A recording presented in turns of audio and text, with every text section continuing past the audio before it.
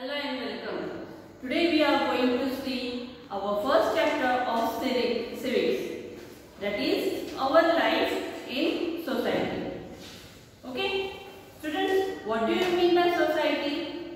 Society किसको बोलते हैं आप जहाँ पे रहते हो आपका अगर एड्रेस अगर आप बोलने को बोलो आपको तो आपका एक पर्टिकुलर एरिया पर्टिकुलर सोसाइटी बोली जाती है है ना लेकिन हम लोग के में बात नहीं कर रहे हैं।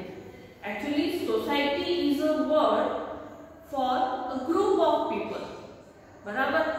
अब सोसाइटी कैसी होती है? हम लोग उसमें ही रहते हैं।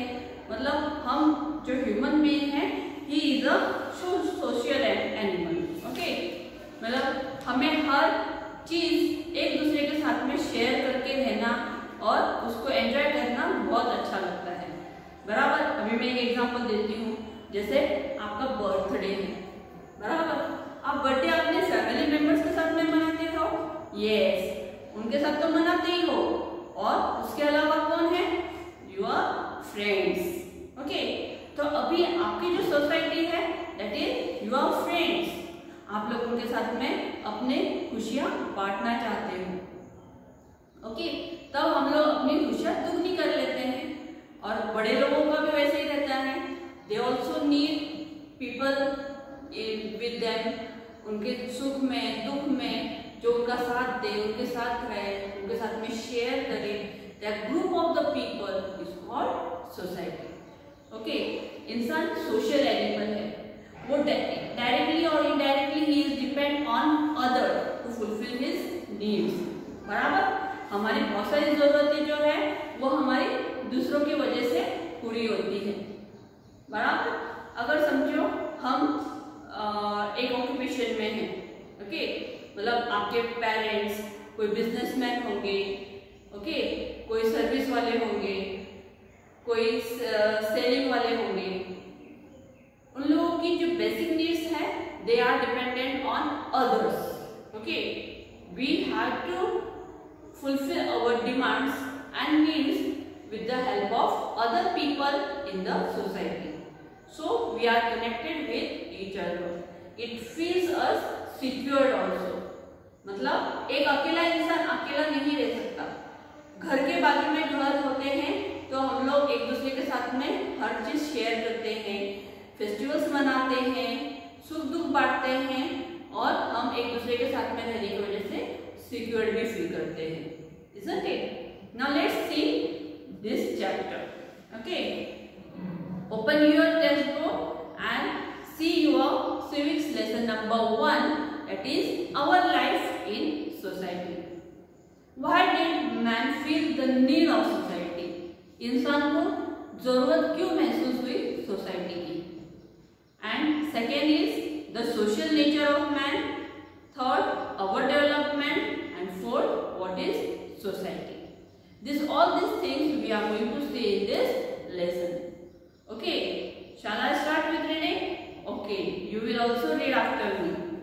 in the fifth standard, we have learned about the evolution of man.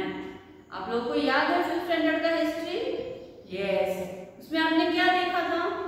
Stone age man evolution of man कैसे डेवलपमेंट होने लगी, कैसे उनकी लाइफ सेटल हुई? पहले तो वो सेटल लाइफ थी क्या उनकी? नहीं. Only because of agriculture and water on the bank of the river your settlement started isn't it it tells us that our present social life has taken shape through the process of evolution आज की जो हमारी life है इसका इसको जो आकार दिया गया है ये काय का प्रोसेस है of evolution over thousand of years man has move from a nomadic stage to the settle social life nomadic cell stage से लेकर सेटल सोशल लाइफ में वो मूव होने लगा। Now first first of all we are going to see why did man feel the need for society पहले हम देखेंगे कि मैन को सोसाइटी की नीड क्यों महसूस हुई? A stable and secure community life is necessary for the development of individual as well as society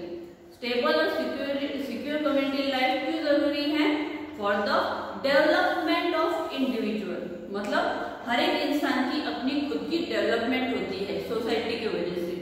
क्यों होती है? कैसे होती है?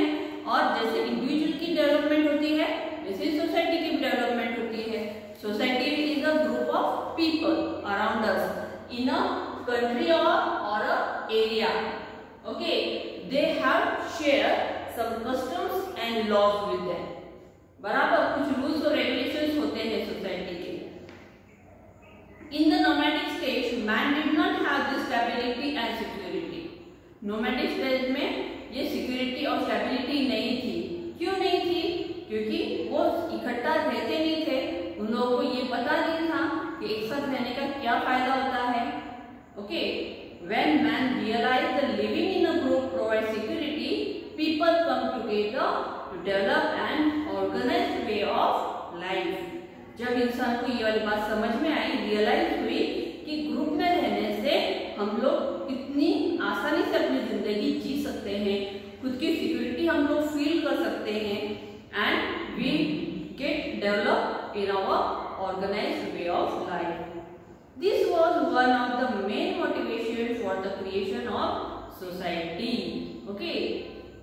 Society create करने का ये मेन मोटिवेशन था to create a society in society man fell the need for rules to help with the smooth functioning of day to day matters okay society में रहने के बाद में भी इंसान ने ये ज़रूरत महसूस की कि इसके लिए कुछ रूल्स होना ज़रूरी है। तभी हम लोग डे टू डे जो हमारे मैटर्स है, ये हम लोग स्मूथली फंक्शनिंग कर सकते हैं।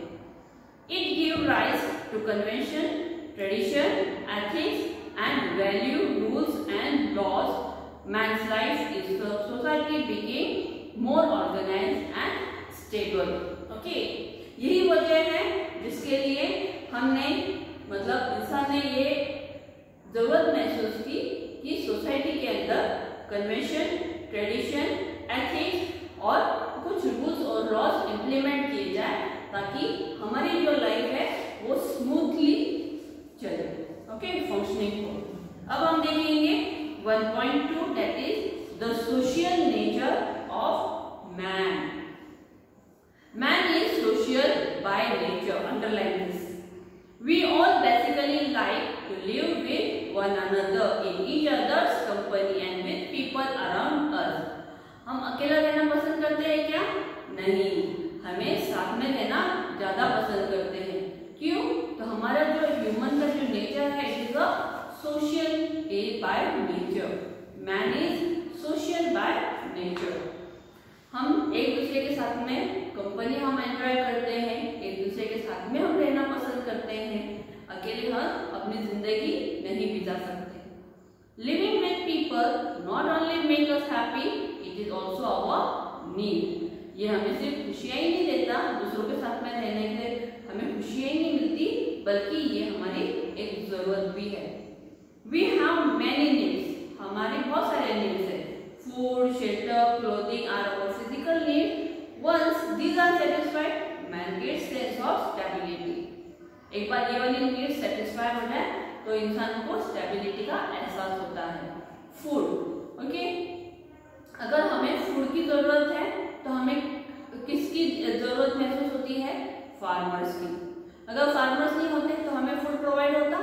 नो जो हमारे लिए शेल्टर बनाता है, घर बनाते हैं, अगर वो नहीं होते तो हमारे लिए घर बना होता?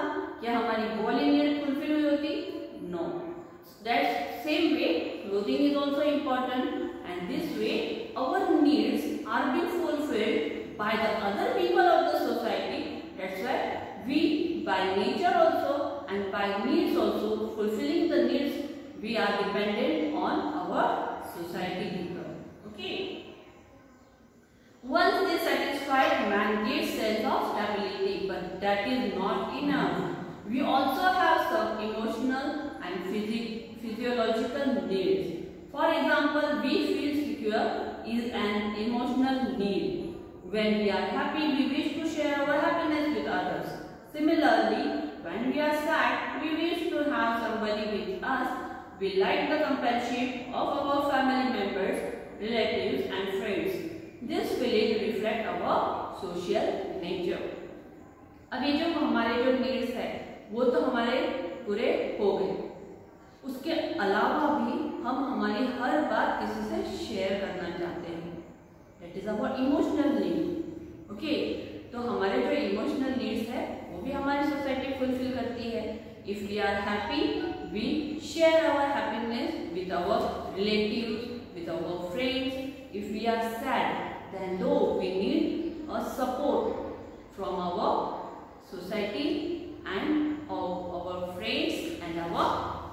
relatives and parents. Okay, that's why we can say that man is a social animal. Okay, I hope you have understood till here. In next part, we will see further.